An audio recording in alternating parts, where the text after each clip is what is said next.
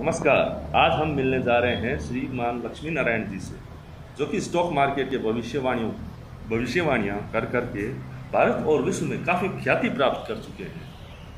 तो हम आज उनसे राय लेते हैं कि जैसे कि आपने सुना है लक्ष्मी नारायण जी ट्विन टावर गिरा दिया गया है नोएडा में, उसे ध्वस्त किया गया है।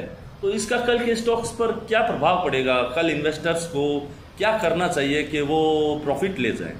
नमस्कार। पहले तो मैं आपको सबसे पहले क्या होता है शेयर मार्केट ताकि हमारे नए युग साथी हैं, जो अपना, और क्या होता है निवेशक और क्या होता है बाज़ार? शेयर मार्केट के बारे में छोटी सी जानकारी आपको सिर्फ़ सीधे साधे शब्दों में बताना चाहूँगा, कि किसी भी रूप में अपना पैसा किसी निश्चित समय अंतराल में बढ़ाना, जो बढ़ाना चाहता है, वो होता है निवेशक।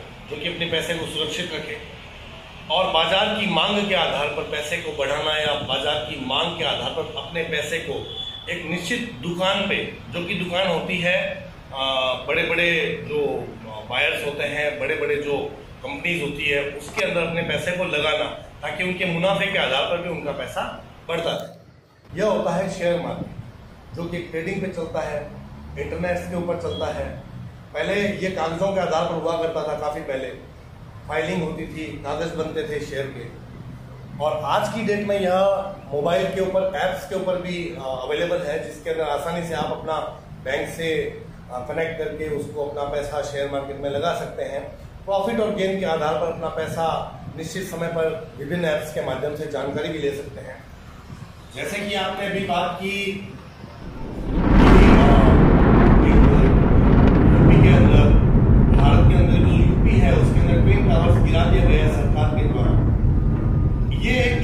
घटनाएँ होती है पूरे देश में या पूरे मुल्क में या वैश्विक स्तर पर, जिसके ऊपर निवेशकों का भरोसा डिपेंड करता है।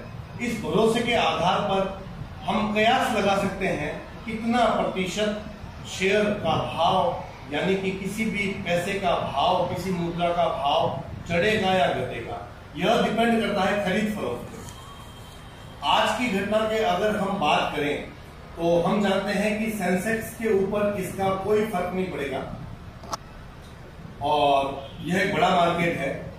सेंसेक्स का लॉन्ग टर्म का जो मार्केट है, उसके ऊपर इस घटना का कोई इफ़ेक्ट नहीं पड़ेगा। यह एक भविष्यवाणी के तौर के ऊपर मैं आपको बता सकता हूँ। लेकिन जो बैंक निफ्टी है, वहाँ पर डिपेंड करता है कि भारत के सबसे बड़े राज्य के अंदर भारत की गिराई जाने वाली सबसे बड़ी बिल्डिंग जो कि हम मान सकते हैं कि यह एक बहुत बड़े टावर के रूप में है। इसको गिराया जाना एक बड़ी घटना है। सुप्रीम कोर्ट के आदेशानुसार सरकार ने यह कदम उठाया है। इसका बेनिफिट्स या इसका डीमेरिट्स यह डिपेंड करता है कि मार्केट कितना डाउन जाए। जो कि मैं आपको बता देना चाहता हूँ कि मेरे आकलन से यह बैंक निफ्टी का जो शेयर है, वो मार्केट 12 से 18 परसेंट के डाउन जाने की संभावना है। क्योंकि निफ्टी फिफ्टी की मैं बात करूँ अगर तो देखा जाएगा कि इसमें भी कोई फ़र्क नहीं पड़ेगा। लेकिन जो मंडी मार्केट है, उसमें बीएससी का शेयर आपको डाउन ज़्यादा दिखेगा। यह मैं पूर्णकालिक रूप से निश्चित होकर आपको कहता हूँ कि मेरे ज्ञान के अनुसार, मेरे अनुभव के आधार पर मुझे यह लगता है। सेकेंडरी चीज़ मैं आपको और बताना चाहूँगा कि सेंसेक्स का मार्केट टोटली डिपेंड्स ऑन वैश्विक ये जो घटनाएँ हैं, उसके ऊपर डिपेंड करता है। तो अपना निवेश आप किस सोच में करते हैं ये आपके विवेक पर अधीन है, यह मेरे कयास है, जिसके ऊपर ये मैं आपको यह नहीं कहूँगा कि आपको पैसा लगाना चाहिए शेयर खरीदने चाहिए या शेयर बेचने चाहिए। धन्यवाद। धन्यवाद लक्ष्मी नारायण जी, आपने अच्छा ज्ञान दिया। हम इसे आगे इन्वेस्टरों तक पहुंचाएँगे। धन्यवाद।